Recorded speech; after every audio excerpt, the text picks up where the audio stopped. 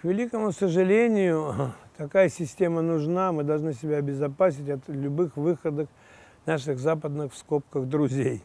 Они могут отмочить все, что угодно. И я, например, совершенно не ожидал, что политические взаимоотношения тут же окажутся санкциями экономическими, финансовыми и так далее, и так далее.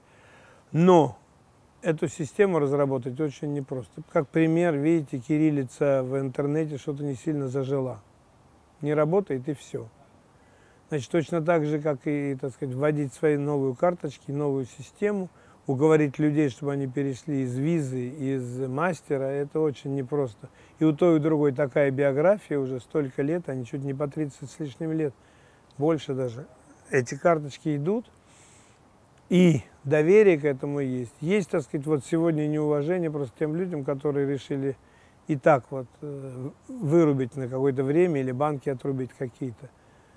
Правы они. Думаю, что не правы совсем. Это не путь, это не путь любого созидательного. Мы должны всегда идти к созиданию.